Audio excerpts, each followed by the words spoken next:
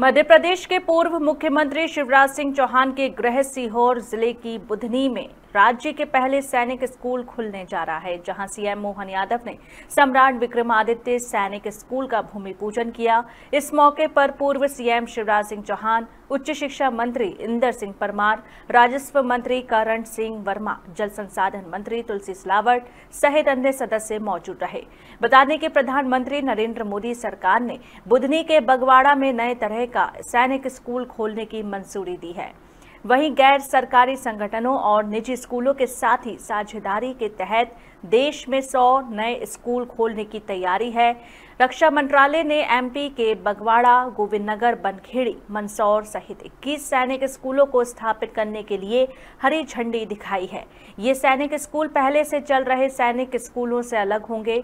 वहीं इनका संचालन एनजीओ, निजी स्कूलों व राज्य सरकारों की साझेदारी से होगा।